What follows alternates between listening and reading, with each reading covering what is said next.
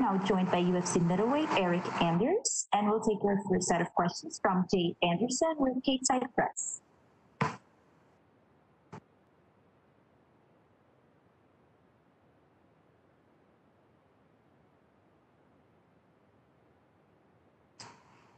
Jay, you have been unmuted.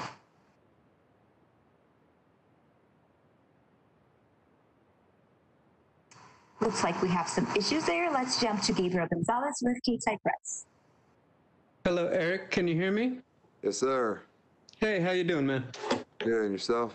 I'm doing good, thank you.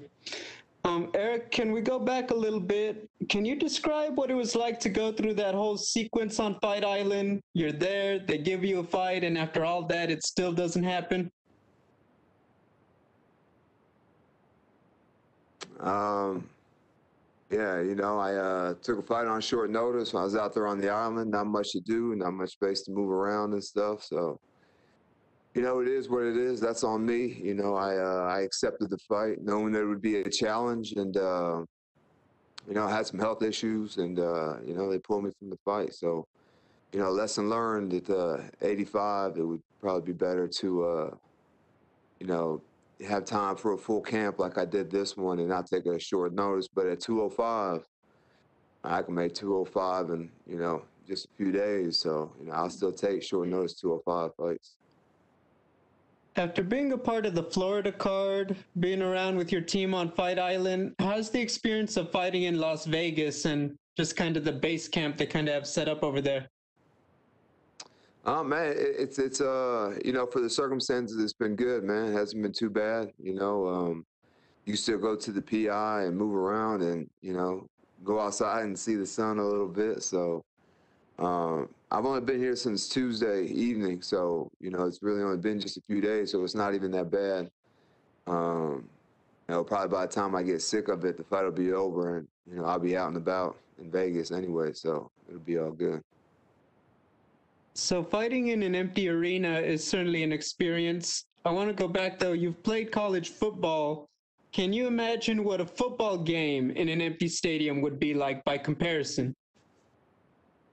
Uh, man, you guys would be surprised at how the players talk to each other on the field if you could hear it like you can in, uh, you know, in the cage. Um, but you know, everybody's got to play and, and fight under the same circumstances. So, you know, it's uh, almost irrelevant.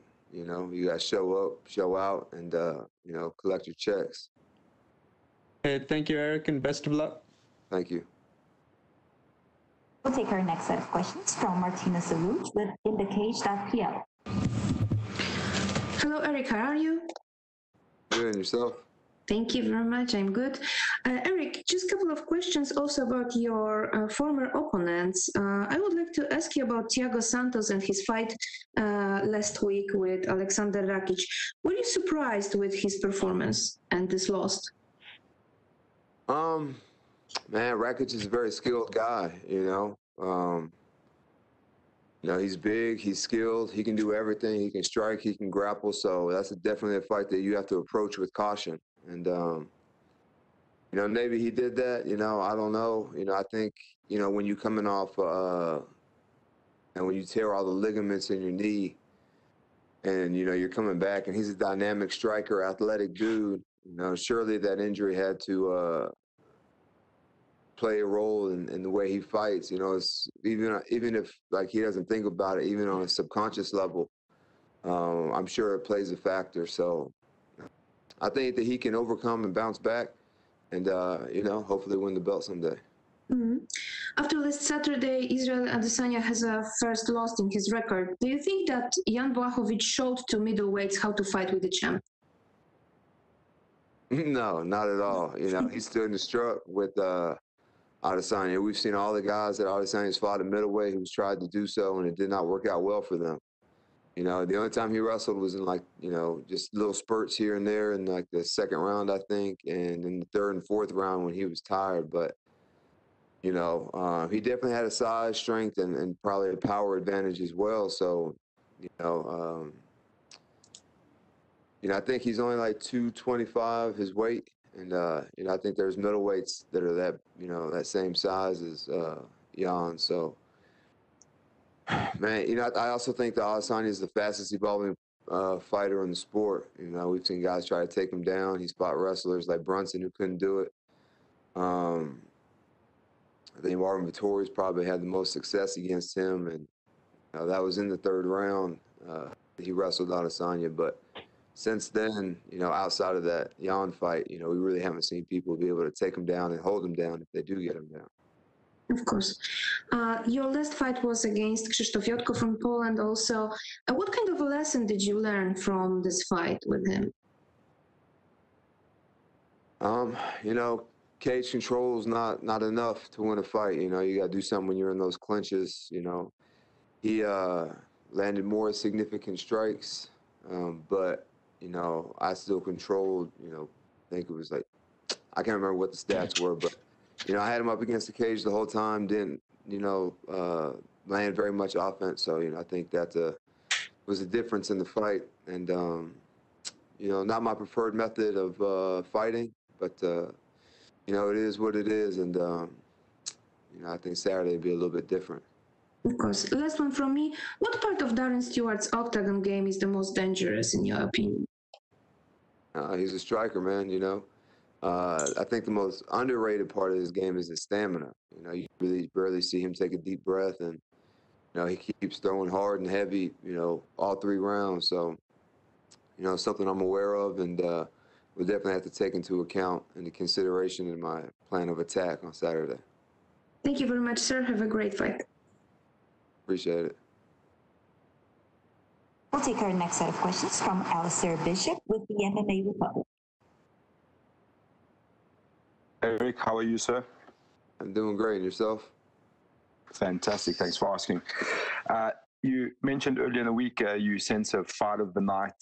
Uh, it seems lately guys are pushing for the performance of the night because uh, a fight of the night usually means damage on, on both ends. Is, is, is that something you encourage? I mean, no, I don't think any fighter likes to take damage, but you know, we've seen in the past that I'm durable. He's durable. Uh, neither one of us have ever been knocked out, so you know, I've got you know, uh, yeah, you know, if it happens, it happens. But obviously, I like to go out there and get a flawless victory. But you know, fighting a guy like Darren Stewart, seeing his opponents after they fight him, very difficult task. But uh, you know. Um, I think this is a, a, fight that the fans will really like. This is what they like: two big guys standing in the middle, swinging. So, you know, uh, it'll be a fun one for me, fun one for the fans, and uh, you know, I think that Darren relishes these moments as well. And and with that in mind, would you say stylistically these these are the kind of fights that, that you're looking for at this point of your career? These are the kind of fights that are giving that extra push in your camps. Yeah, 100%. You know, all the guys that I've lost to have been point fighters uh, with the exception of you know uh, my two light heavyweight fights, uh, my two light heavy, you know, Thiago and, and uh, Khalil Rountree. Everybody else is just kind of you know, you know, just point fighted, and uh, I don't think that that is in either uh, Darren or I's you know fighting style or DNA. You know, I think they were both fighters, and uh, yeah, that's what we're going to get in there and do. You mentioned the, the dip in at 205. Um, wh- where are you more comfortable at the moment, 205 or middleweight, or what are the pros and cons for you between the two classes?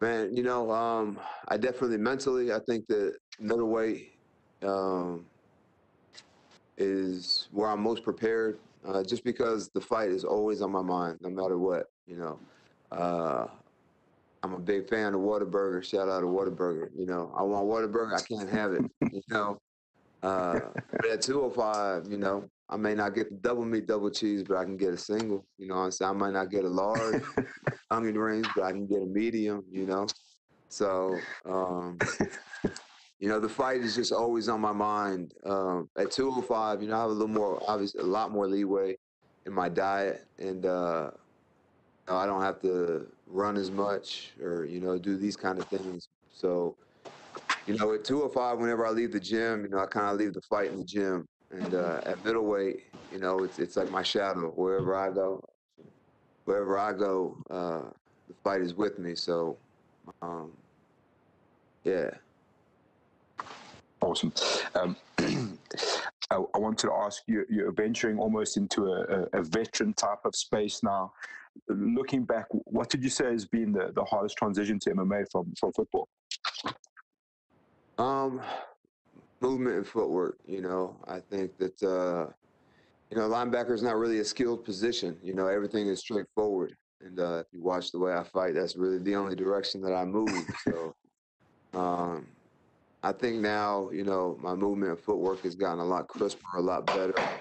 My strike count uh, is, you know, will be a lot higher now. So, um, yeah, you know, I don't have to play Rock'em Sock'em Robots anymore.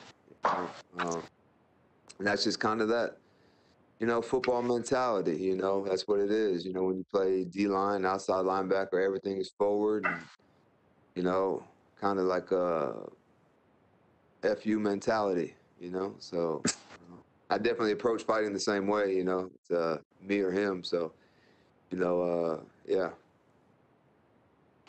Last one for me. Uh, I, I, saw you having quite a bit of fun with the Gordon Ryan, Andre Galvao scenario. Um, who, who do you think wins if that fight ever happens? MMA. No, no, no, grappling. Oh man, you know, I, I think that Gordon Ryan definitely has the the mental upside. You know, I think Andre Galvao might be a little shook when you get slapped twice and, and don't retaliate or anything. Especially it's like you know they weren't in Walmart. You know, the police weren't going to get called. There's like no risk of legal repercussions. So you know, I think if there's any time that you're going to get slapped and retaliate, that would be the time. So um, I don't know, like uh, stature wise, how they, you know, would they be in the same weight class or whatever? I know Galvao's fought MMA before, and Gordon Ryan has talked about fighting MMA. So, man, at, at this point, I have to go Gordon Ryan, man. Galvao got to be a little shit. Awesome. Thank you so much, man. Best of luck. Thank you. We'll take our last set of questions from Jordan Ellis with Loki coming up. Hi, Eryk.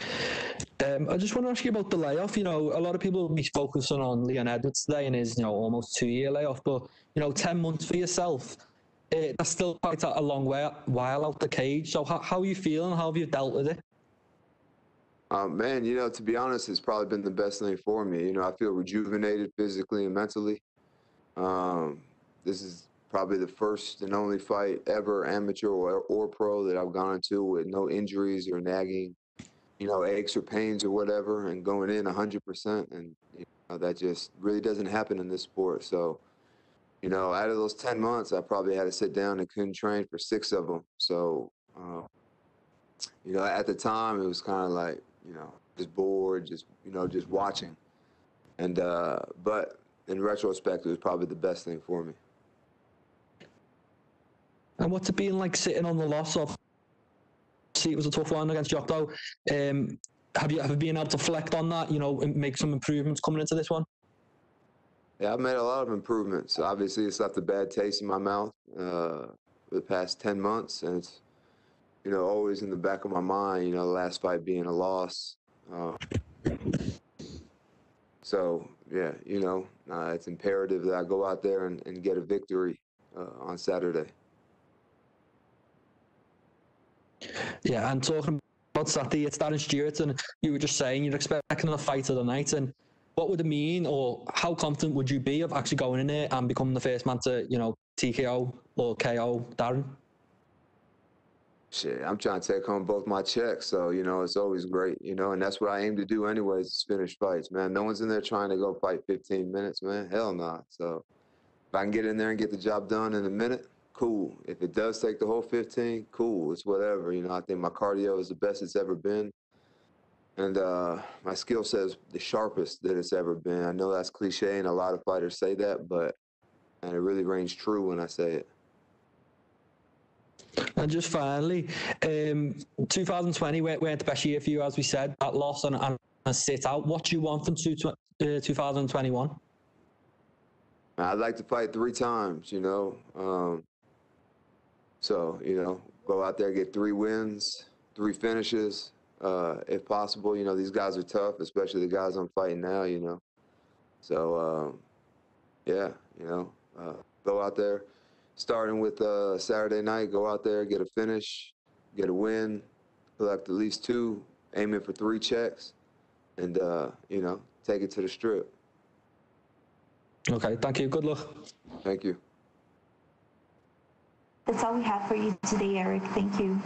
All right, thank you.